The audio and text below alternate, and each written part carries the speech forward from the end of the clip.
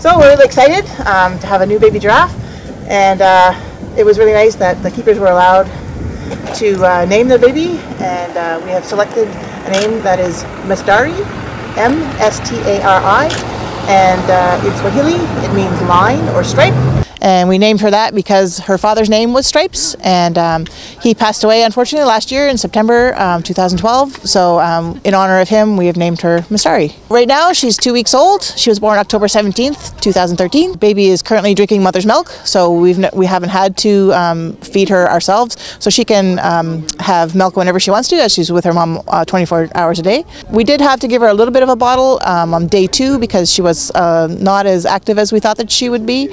So uh, we gave her a little bit of assistance, um, and we had monitored monitored her through her blood, so we knew that her blood sugar was good and she was um, doing well otherwise um, with her vet check.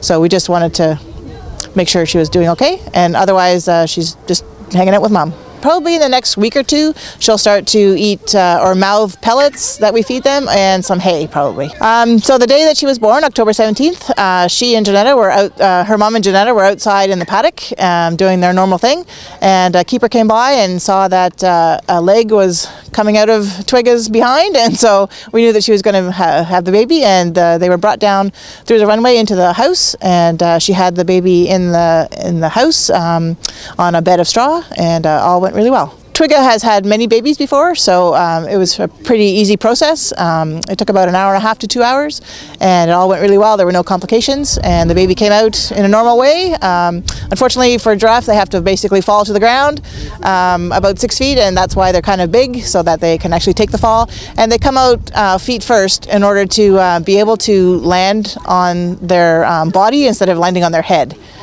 So if they came out head first, they'd have to land on their head, and that would be not good. For our giraffes, sometimes if we've had a male, often the um, baby giraffe that was born would have to go away, but we don't have a male right now, and it's a girl, so she'll probably be staying with us for quite a while. The baby giraffe will be on display in the yard mainly, um, probably in the mornings only because it's getting colder now, um, so she'll be out for an hour or so in the yard with her mom and her aunt.